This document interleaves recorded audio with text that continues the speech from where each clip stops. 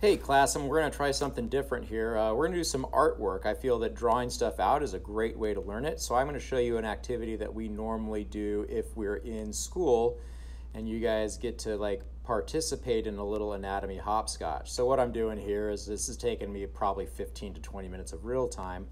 I'm drawing out the skin and a bunch of the structures that are found in the skin. This is what I want you to do. Okay everybody, so now we have the skin and let's go ahead and take a look at the structures that are detailed here.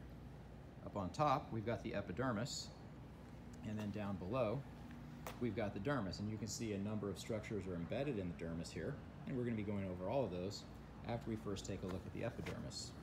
If you'll recall, the epidermis has five distinctive layers, the stratum corneum, the stratum lucidum, the stratum granulosum, stratum spinosum, and the stratum basale.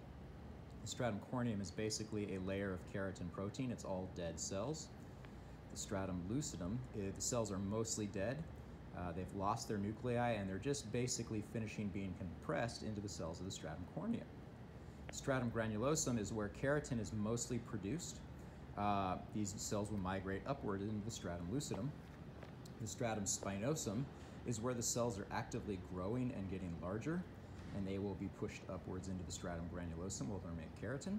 And the bottom layer is the stratum basale, where the cells are doing mitosis. Now, these epidermal cells are attached to the connective tissue of the dermis by this pink line or basement membrane.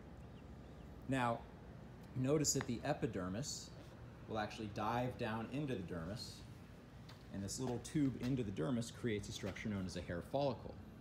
This whole structure is known as the hair follicle. This purple guy here is the hair.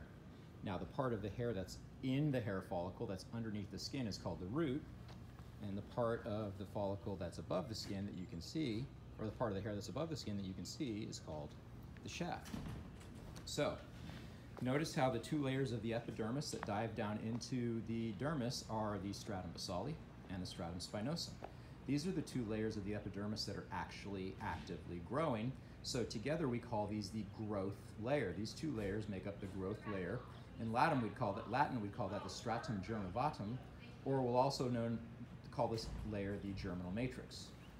Notice that down at the very bottom of the hair is the hair papilla, and coming into the hair papilla we have some nerve endings and we have some blood vessels, which makes this area very, very rapid growth and very sensitive.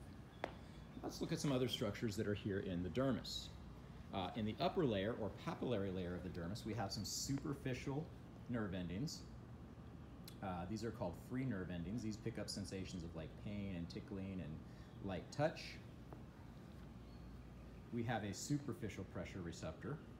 Uh, so this might pick up light touch um, and vibrations.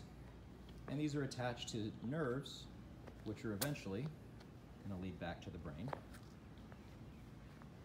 Over here we have a deeper pressure receptor. Uh, so if somebody grips you firmly, you might feel it uh, through this pressure receptor instead of one of the superficial ones up there. Now this is down in the in the reticular layer of the dermis, whereas some of those other guys were up in the papillary layer of the dermis. Also down here in the reticular layer of the dermis is an eccrine sweat gland, which will function to cool your body off by making a thin, watery sweat. And uh, we have some nerves and blood vessels, which, which if you'll recall, are uh, involved in thermoregulation, keeping your body temperature at the right level. If we finish looking here uh, at the hair follicle, there are a couple of structures attached to the hair follicle. There is a sebaceous gland, which makes the oil that covers your skin known as sebum. And there's an erector pili muscle, or piloerector muscle, which when it's stimulated, it pulls your hair upward and causes your hair to stand on end, creating goosebumps. If you're a cat and you're scared, it'll make you look larger when all your hair stands on end as well. Okay, so that's a quick review of the skin.